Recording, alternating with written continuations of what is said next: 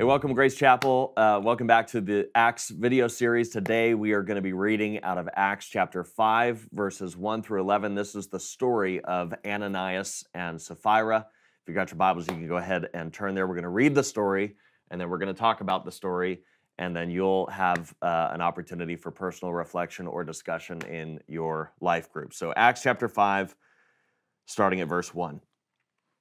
It says this. But a man named Ananias, with his wife Sapphira, sold a piece of property, and with his wife's knowledge, he kept back for himself some of the proceeds and brought only a part of it and laid it at the apostles' feet. But Peter said, Ananias, why has Satan filled your heart to lie to the Holy Spirit and to keep back for yourself part of the proceeds of the land? While it remained unsold, did it not remain your own? And after it was sold, was it not at your disposal? Why is it that you have contrived this deed in your heart?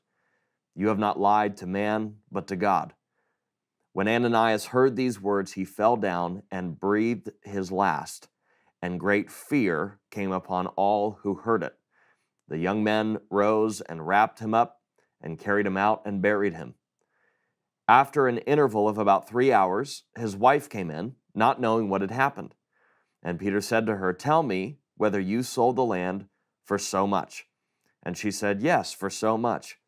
But Peter said to her, How is it that you have agreed together to test the Spirit of the Lord?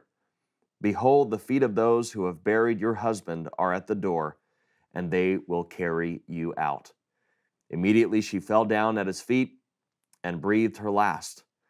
When the young men came in, they found her dead and they carried her out and buried her beside her husband. And great fear came upon the whole church and upon all who heard of these things. This is a very uh, different kind of story than what we've been going through in the book of Acts. And, um, you know, one of the interesting things about this and what was happening in the early church is people were the, the background of this is people were selling their property and bringing all of their wealth to the church and offering it to the church for distribution for anyone who had need. And we talked about this the, the previous Sunday in Acts chapter 4. And they were meeting needs all over the place. And then here's this story just inserted in there that just seems, well, it just seems kind of harsh. Yeah. You know? You could definitely misread it. Because Yes. you could read it and go, well, wait a minute. Like, because it could sound almost co- like a c- communist type thing. Like, totally. everybody's going to give all of their money and then it's going to be redistributed, you know. But the reality is that the problem isn't with the money and it isn't even with the land. They didn't have to give any of it. Right. Um, it was the lying Yes. that was the issue. So it was like, I'm going to exaggerate this gift that I'm giving. Basically, I and you see, like basically, if we're talking about the acts of the apostles, we're also talking about the act of the Holy Spirit, right? Yep. yep. So it's not like Peter kills them. It's like the Holy Spirit Yeah. is not okay with this manipulative lying Yes. going on. And Yes. and that's that's the issue. Yes. The the interesting thing is, you know, if they had been honest about what they had sold it for and honest about what they were bringing, there would be no issue. But it's the fact that they wanted to appear to be just as, if not more generous than other people that were bringing their resources and goods to the early church. And because they wanted to appear that way and they lied, and, and this is an interesting principle for us, is that Peter says, you, you have not lied to man, mm-hmm. but to God. Yeah. And it tells us a number of things. Number one, there isn't anything in our lives that is a secret from God. Everything is laid bare before Him. He knows the depths of our own motivations, He knows the depths of our hearts. He knows it better than we do. And, uh, and so, even in addressing that, that there's a principle there that God sees it all, and that when we lie about anything, we're not just lying to men, but we're lying to God, and that's God takes that very seriously. And you know, this is one of the first things, right, that really sets the tone for the church with the fear of the Lord, which is there will it will not be tolerated um, in the church uh, for people to be fake. Yeah. And the issue is being fake. The issue is not giving or not giving. You know, the issue is I'm going to act like I'm something that I'm not. Yes. And so the the issue isn't even if if you're flawed. They you know because they could say you know what we sold this property and we just really want to buy a nice house on the Mediterranean Yeah. and we're going to do that. Yes. You know because that's our you know that's our retirement home and we really want to spend all that money there. Um, not a problem. It's their money. Yeah.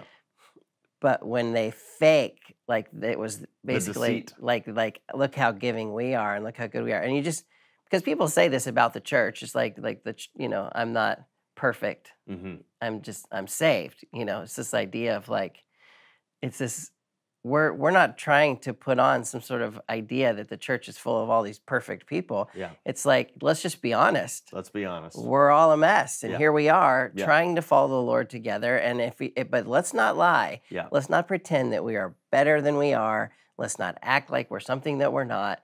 Let's all basically put our total trust and dependence on the salvation of the Lord, not on our own Yep. self effort or gifts that we bring. Yeah.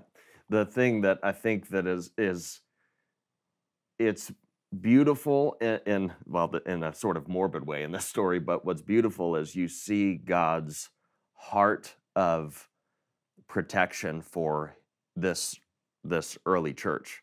So this is the very beginning, the very birth of the church. And he's setting a precedent that that kind of behavior, that kind of deceit, that kind of hypocrisy is not going to be a part of his body. And he's he's addressing that. I, I mentioned this uh, back when we did our series on the ten commandments that you know one of the challenges with being a pastor or preacher is you know how do you get people to tell tell the truth and we made the joke that like well that would do it Yeah. that would do it. And great fear came upon the entire church Yeah. because of what was happening. And they saw how much God cares about honesty and what is true and um, and integrity and, and those sorts of things. And so he's he's setting the tone for the the trajectory of uh, his bride and his body. Yeah. And so, you know, as in our in life groups when you're discussing this, you know, I just want you all to know that it's great if you want to watch this on your way to life group or maybe even you guys watch it together as a group, but but we want you to have the conversation. So get get the word out, read it for yourself, look at what it's saying and always stop and ask the question, what is God saying to me? Mhm. um, what is God actually speaking to my heart? What is the Holy Spirit leading me to do in reaction or in response to this passage? And so, as we go along, yes, these are just conversation starters to get us all heading in that direction. But what we really want is for you to get into the Word and to discuss it with other believers. And that's kind of our heart in doing this series. So enjoy your conversation or personal reflection, and we'll see you next time. God bless you.